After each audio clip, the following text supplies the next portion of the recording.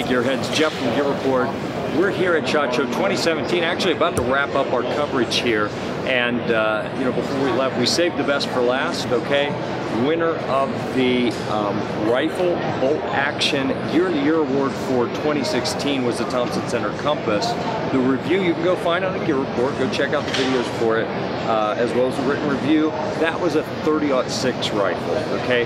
When the initial batch of 10 calibers were made for the uh, TC Compass for the, for the launch last year in 2016, 6.5 Creedmoor didn't make the list, but I can tell you when we were at NRA show and spent a little bit of time in the Thompson Center booth, we heard quite a bit of people um, asking where 6.5 Creedmoor, and that's you know the feedback that, Thompson Center has shared with us as well. Everyone wanted to know where it was. Uh, so the 11 caliber, you know, the next one added to the TC Compass family was 6.5 Creedmoor. So same basic rifle that we're used to, that, that I really it was my go-to hunting rifle this past season for white-tailed deer. Uh, the things I really liked about it, uh, we have a threaded muzzle, so if you're bench shooting uh, and you want to put a muzzle brake on there, you can. What I chose to put on the end, and again in 30-06, I put a silencer out here, SD Tactical Arms.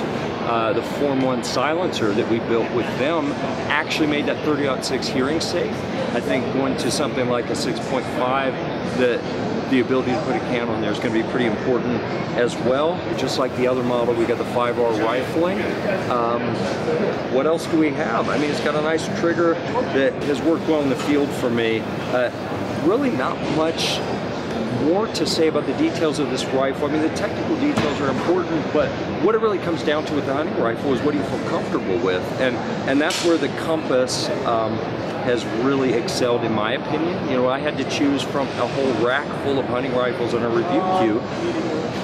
The Compass is what I reach for, and that's why, you know, your report, Gear of the Year Award, uh, Bolt Action Rifle winner was the, the Compass Thompson Center. So adding this to the, the TC Compass lineup, uh, while they were at it, they went ahead and added to the rest as well. So Venture's got a 6.5 Creedmoor, as well as the uh, Dimension and Encore platforms as well. So check them out. I mean, a lot of people have been waiting for this, pretty high demand. So um, I recommend you go get one. I'm biased because it's what I hunt with, but um, we'll see you at the range.